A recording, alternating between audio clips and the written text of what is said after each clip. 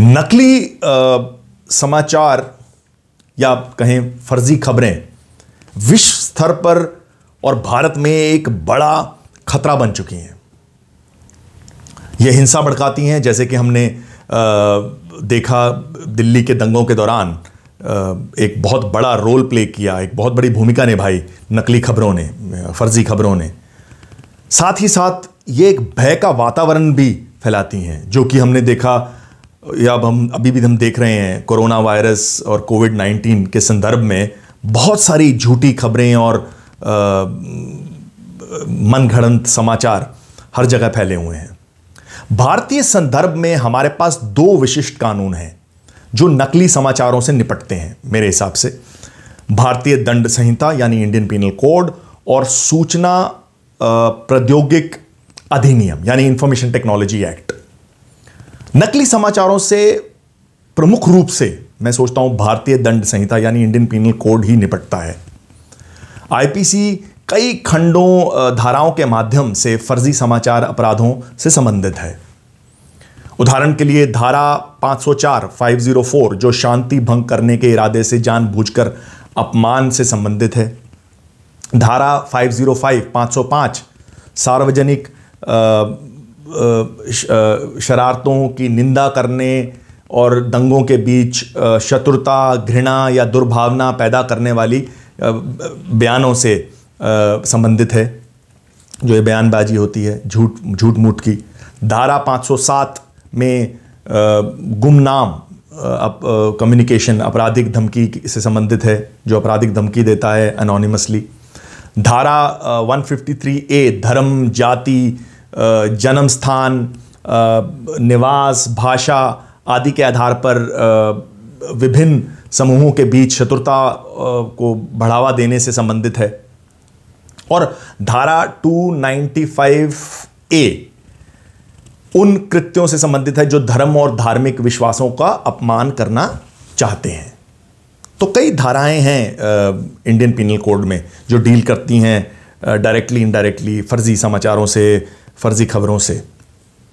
सूचना प्रौद्योगिक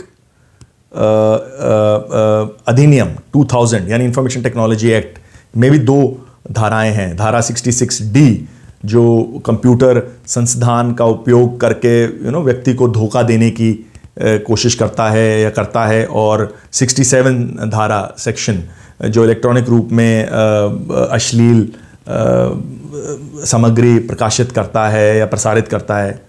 तो हालाँकि ये प्रावधान विशेष दंडनीय अपराध तथा तक ही सीमित हैं।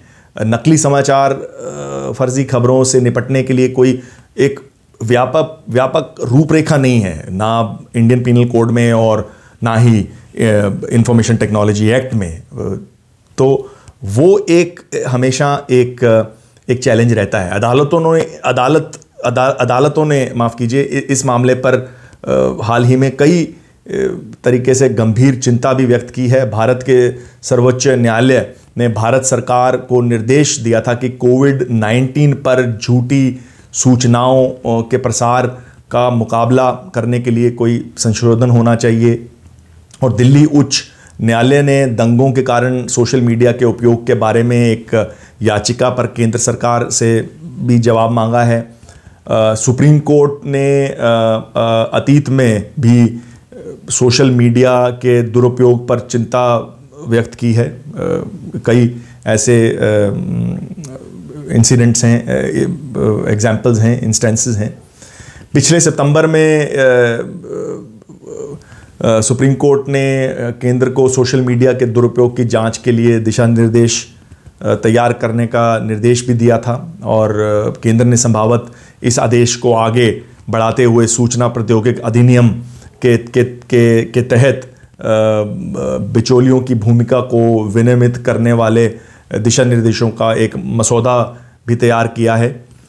दिल्ली उच्च न्यायालय इस समय एक याचिका पर सुनवाई कर रहा है मेरे हिसाब से जो जो सोशल नेटवर्किंग प्लेटफॉर्म से गलत जानकारी और घृणित भाषण को हटाने की मांग करती है।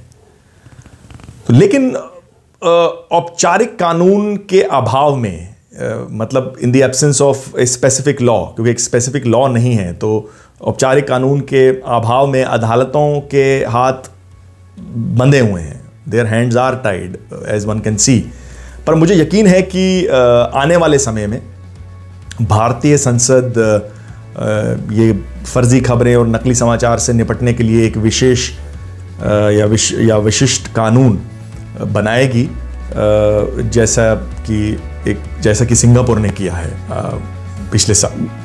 उन्होंने भी एक खास एक कानून बनाया है फेक न्यूज़ से डील करने के लिए, या फर्जी खबरों से डील करने के लिए। धन्यवाद।